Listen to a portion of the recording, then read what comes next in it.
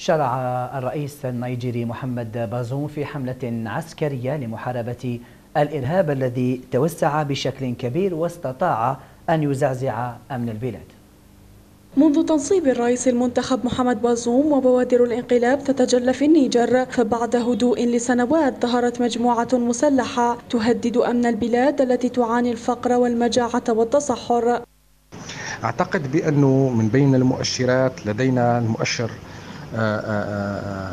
الأول وهو المتعلق بعملية إطلاق السراح مجموعة من الإرهابيين الذي تجاوز عددهم أكثر من 200 عنصر في إطار صفقة مفضوحة مكشوفة لفرنسا مقابل إطلاق سراح رهينة فرنسية.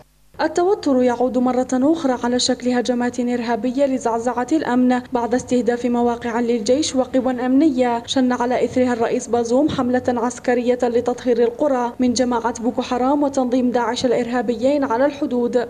وتاريخيا وكبنا بأنه كلما كان هناك اضطراب في المناخ السياسي في منطقة الساحل كلما واكبه اختراق وتوغل وتمدد لنشاط الجماعات الإرهابية. الرئيس النيجيري قال إن الجماعات الإرهابية التي تسعى لتدمير البلاد تمتلك دعما وقدرات كبيرة لذلك يجب توخي الحذر في هذه المرحلة.